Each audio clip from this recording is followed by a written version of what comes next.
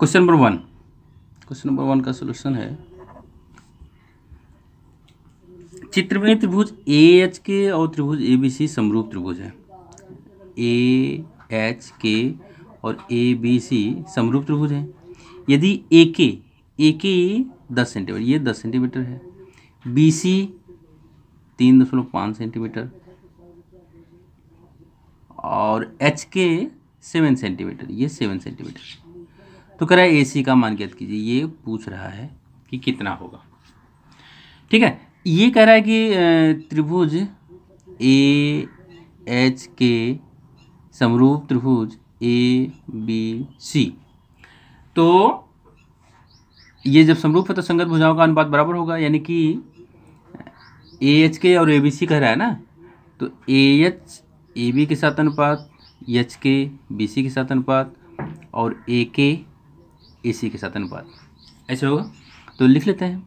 A H बटे A B बराबर H के बटे बी सी बराबर ए के बटे ए सी ये हो गया। क्या क्या मान दिया है और क्या पूछ रहा है? ए के ए के दिया है बी सी दिया है एच के दिया है ए सी पूछ रहा है तो सिर्फ़ हमारा इसी से काम हो जाएगा।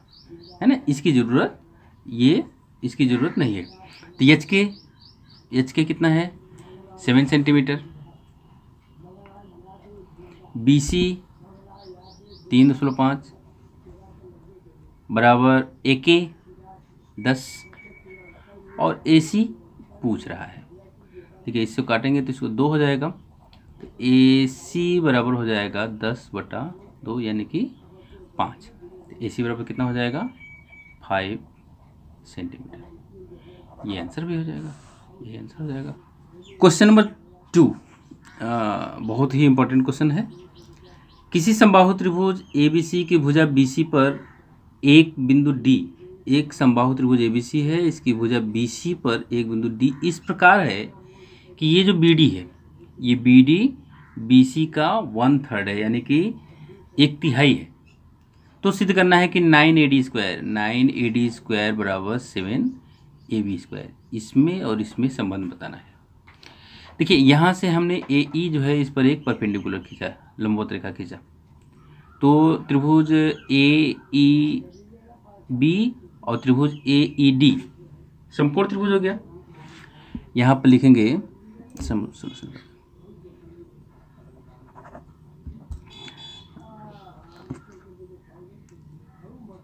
A E perpendicular to B C खींचा।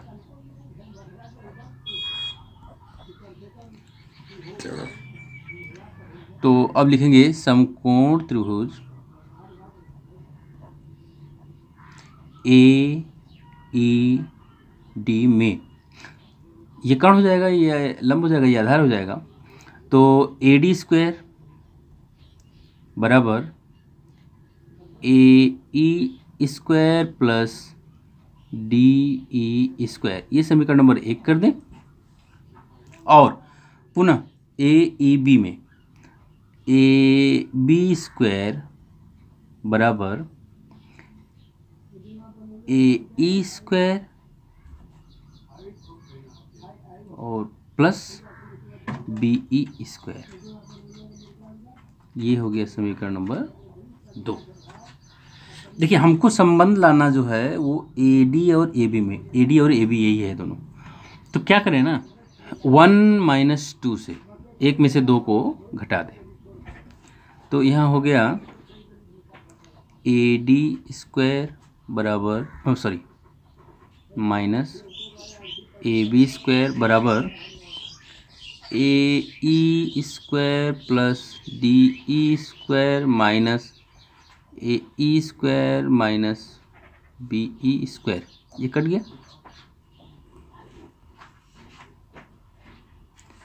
इधर इसको रहने दीजिए क्योंकि ये ज़रूरत की चीज़ है।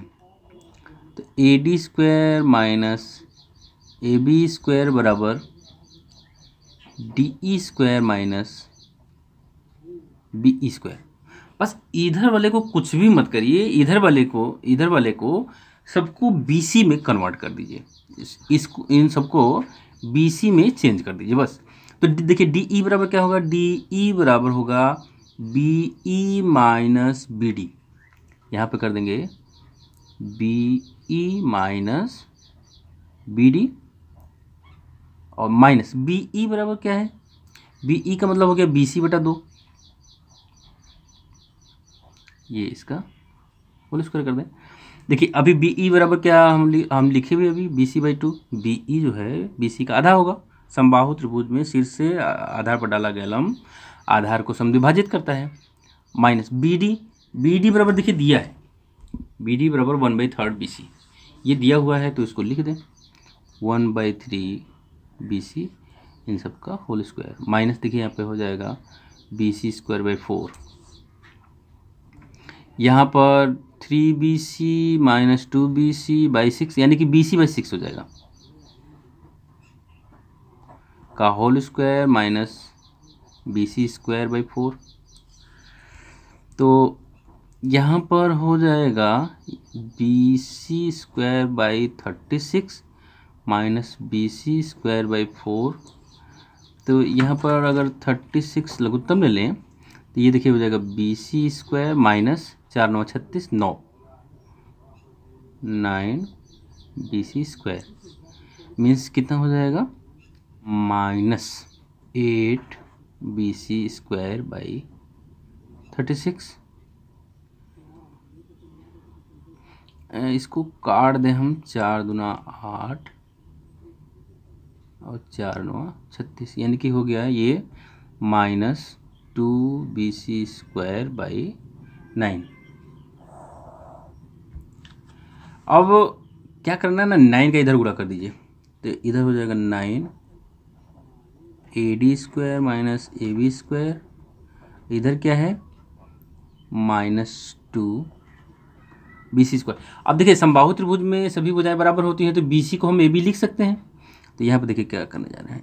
Nine A D square minus nine A B square बराबर माइनस टू बी सी की जगह हम अब ए बी लिख देंगे। ए बी स्क्वायर यहाँ पे लिख देंगे चूँकि ए बी बराबर बी सी बराबर सी ए संभावित त्रिभुज में तीनों भुजाएँ बराबर होती हैं।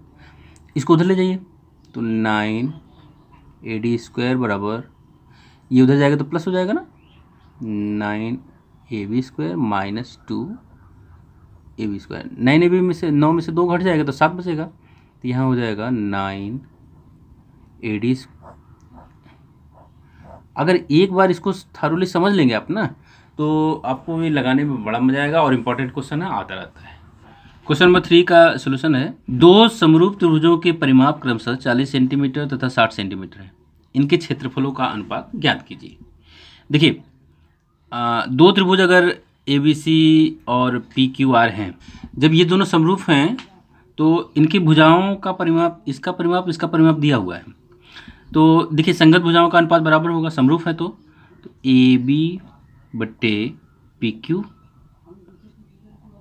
बराबर बी सी बटे क्यू आर बराबर ए सी बटे पी आर अच्छा देखिए जब ये कंडीशन होता है तो ऊपर की भुजाओं का योग यानी कि ऊपर का परिमाप और नीचे के परिमाप का अनुपात भी बराबर होता है यानी इसी के बराबर ऐसा भी हो जाता है। ए बी इस तरह का सिद्ध किया जा चुका है है ना? यहाँ पर मैं सिद्ध नहीं करूँगा। P Q plus Q R plus P R इसी के बराबर ये होता है। तो इसमें हम कोई भी भुजा एक ले लें, मान लेते हैं ए बी ए बी बटे पी क्यू बराबर ये हो जाएगा परिमाप चालीस और साठ तो ये हो जाएगा चालीस बटे साठ काट देंगे, दो छः यानी ए बी बटे पी क्यू बराबर हो जाएगा दो बटा तीन। अब पूछ रहा है कि इनके क्षेत्र, उनके क्षेत्रफलों का अनुपात ज्ञात कीजिए। तो देखिए, त्रिभुज त्रिभुज area of triangle A, B, C बटे area of triangle P, Q, R. बराबर? संगत भुजाओं के वर्गों के बराबर होता है, यानी ए, बी बटे पी क्यू का होल स्क्वायर। और ये मान रख दें दो बटा तीन का होल स्क्वायर, यानी कि हो गया चार बटा नौ। तो अनुपात क्या हो जाएगा? अनुपात बराबर हो जाएगा चार संबंधे नौ। यही आंसर हो जाएगा। ठीक है? क्वेश्चन नंबर फोर है। चित्र में वृत्त का केंद्र ओ है। एक चित्र है जिसमें वृत्त का केंद्र ओ है। यानी कि ये व्यास है। और ऊपर का अर्धवृत्त, नीचे का अर्धवृत्त। यदि कोण B A C B A सी यानी ये तीस अंश है तो कोण A D C A D C ये कोण पूछ रहा है।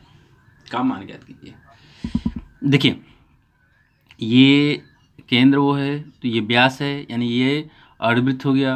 और यह कोण अर्धवृत्त में स्थित कोण है, इसलिए ये नब्बे अंश का होगा। तो यहाँ पे लिखेंगे कोण ए सी बी बराबर 90 डिग्री। क्यों?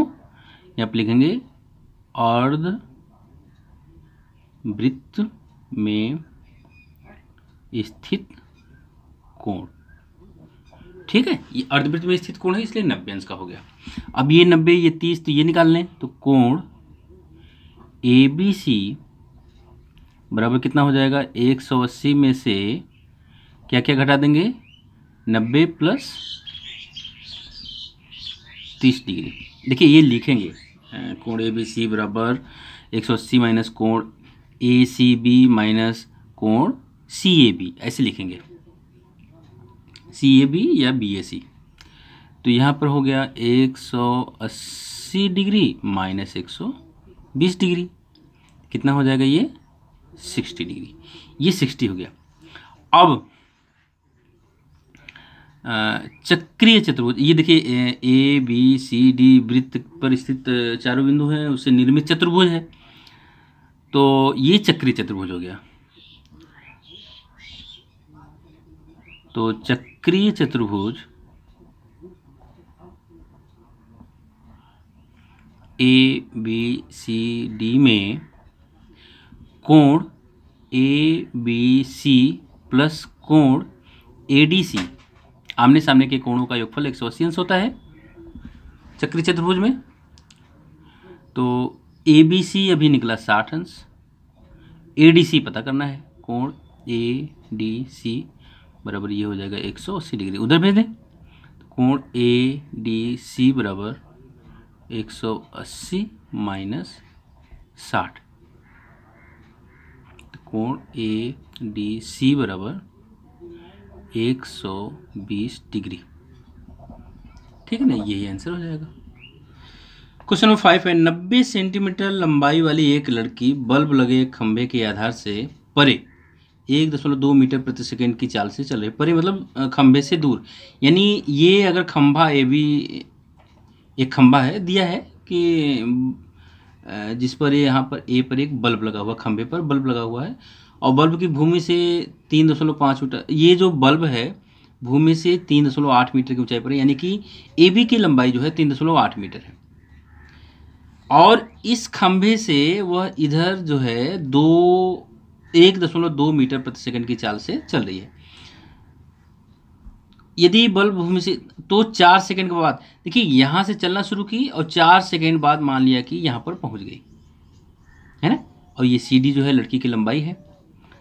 आ, तो जब यहाँ पे खड़ी हुई बल्ब यहाँ है तो इसका छाया पड़ेगा। तो ये सी ई मान लेते हैं उसकी छाया है। है ना? बल्ब बल्ब के प्रकाश से छाया पड़ेगा ना? तो छाया की लंबाई ये पूछ ही रहा है। छाया की लंबाई ज्ञात कीजिए यानी कि सी ई पूछ रहा है।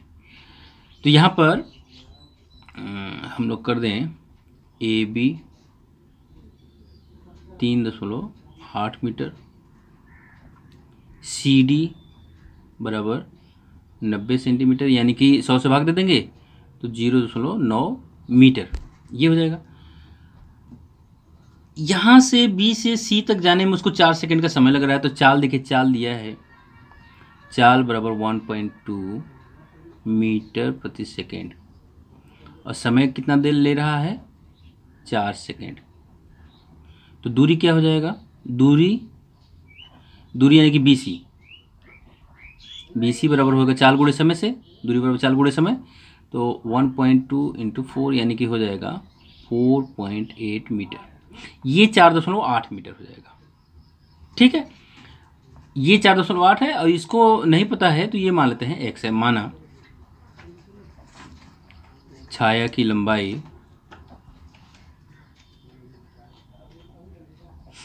सी ई बराबर एक्स मीटर। अच्छा जब समरूप हो गए तो संगत भुजाओं का अनुपात बराबर होगा, यानी कि this imply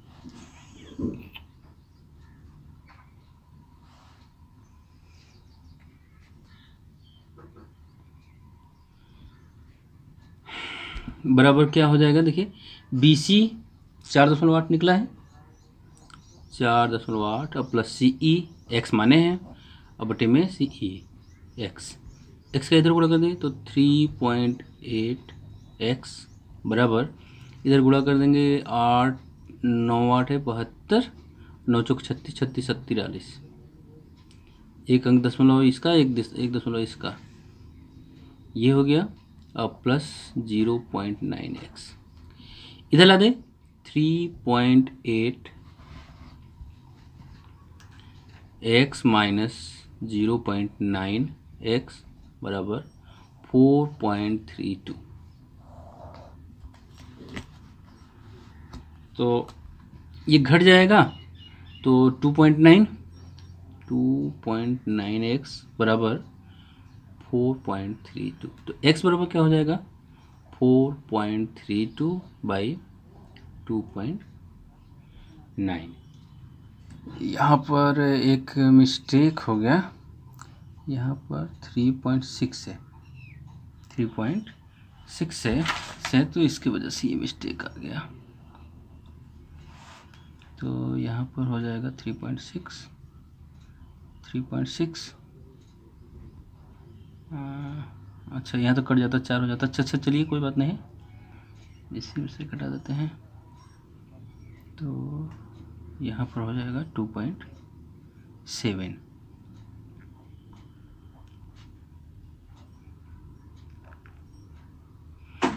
Two point seven, इसको काटेंगे तो आ जाएगा सोलह सत्तर एक सौ बारह, सोलह दिन बत्तीस और ग्यारह तिरालीस। ये वन पॉइंट सिक्स हो जाएगा। थोड़ा सा मिस्टेक हो गया यहाँ पर ये मान लिखने में। तो चलिए क्वेश्चन नंबर सिक्स है। सिद्ध कीजिए कि एक समांतर चतुर्भुज के विकर्णों का योग उसकी भुजाओं के वर्गों के योग के बराबर होता है। हमको दिखाना है कि विकर्ण ए सी पहले लिख दें। ज्ञात है। क्या क्या ज्ञात है? आ, समांतर चतुर्भुज ए बी सी डी सिद्ध करना है। सिद्ध करना है A C square plus B D square बराबर। A B square plus B C square plus C D square और प्लस ए डी स्क्वायर ये इतना सिद्ध करना है। इसमें हम रचना भी करेंगे। रचना करने के लिए हम लोग क्या करेंगे ना? इससे इस पर परपेंडिकुलर टर्न कर दें और इस पर भी ये जो परपेंडिकुलर होगा, इसकी बढ़ी हुई, ए बी की बढ़ी हुई भुजा पर होगा। तो ये ई e कर दें और ये एफ़ कर दें। अब हम ये समकोण त्रिभुज हो गया। रचना में हम D E perpendicular to A B तथा C F perpendicular to A B की बड़ी भुजा ए बी की बड़ी भुजा। ये हो गया। अब उत्पत्ति। उत्पत्ति में क्या करते हैं? हम लोग ज्ञात है और रचना का सहयोग लेकर के सिद्ध करते हैं। ये जो सिद्ध करना है, उसको लाते हैं। यहाँ पर त्रिभुज ए, डी, ई तथा त्रिभुज C, B, C, F, B में। यहाँ क्या हो जाएगा? ए, डी स्क्वायर बराबर D, E square plus A, E square. इस समीकरण नंबर एक और त्रिभुज डी एफ़ बी में। बी डी स्क्वायर बराबर। बी डी स्क्वायर बराबर D E square plus B E square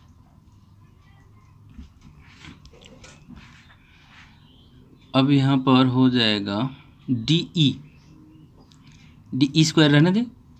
D E square की जगह हम A D square minus A E square रख सकते हैं। A D square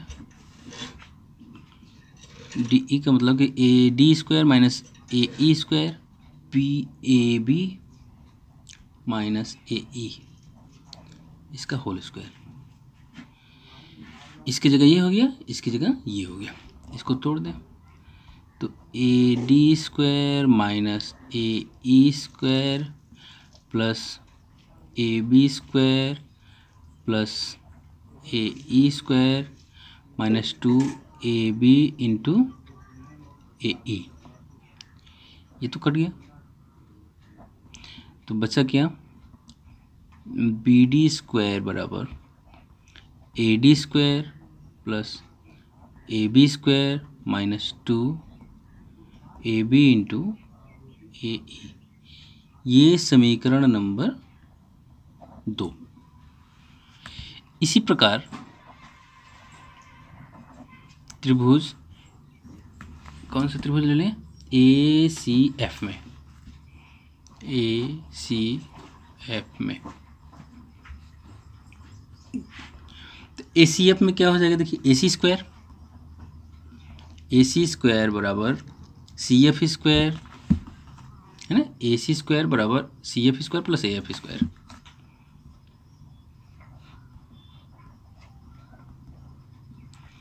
तो C F square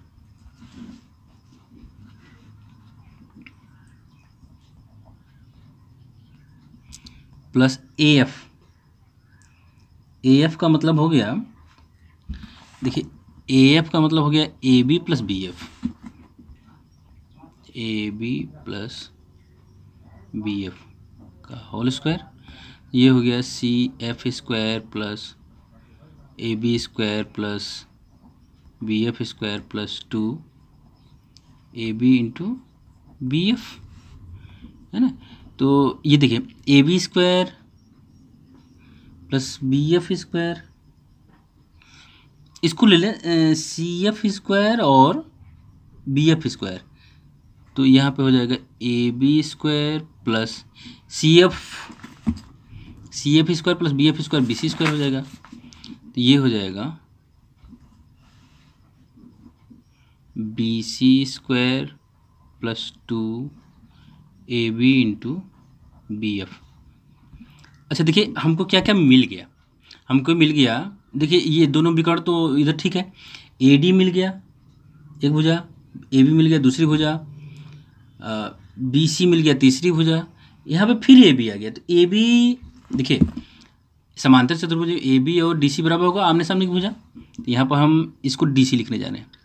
यहाँ हो गया D C square plus B C square plus two A B into B F, चूँकि ए बी बराबर डी सी। ठीक है? अब हम लोग, ये देखिए, हम इसको जोड़ेंगे, जब इसको जोड़ देंगे, इस समीकरण नंबर, ये समीकरण नंबर तीन कर दीजिए। दो और तीन को जोड़ेंगे तो हमको A B B C C D A D चारों भुजा मिल जाएँगी, लेकिन ये जो है एक्सेस में आ रहा है। जोड़ें तो ये कट जाए। तो A B A B two A B two A B तो ठीक है, ए ही है, यहाँ पे बी एफ़ है। हमको किसी तरह से ये जो ए ई और बी एफ़ है, इसको बराबर दिखा दें अगर तो हमारा काम बन जाए। तो इसको बराबर दिखाने के लिए हम त्रिभुज ए डी ई और त्रिभुज एफ़ सी बी सर्वांगसम दिखाने जा रहे हैं। यहाँ पे लिखेंगे त्रिभुज डी ई ए तथा त्रिभुज सी एफ़ बी में। सी एफ़ बी में। यहाँ पे कोण डी ई ए बराबर कोण? सी एफ़ बी बराबर 90 डिग्री ये ए डी बराबर बी सी समांतर चतुर्भुज आमने सामने की भुजा है। आमने सामने की भुजाएँ एक चीज़ हो गया, ये हो गया, और ये देखिए सी एफ़ बराबर डीई हुआ। सी एफ़ बराबर डी ई ये जो लंबोट डाला गया है, वो समान होगा। होगा, ये दूरी हर जगह समान होती है, समांतर चतुर्भुज में। तो ये हो गया। इसका मतलब दिस इम्प्लाइज त्रिभुज ए डी ई सर्वांगसम त्रिभुज C F C B by क्या?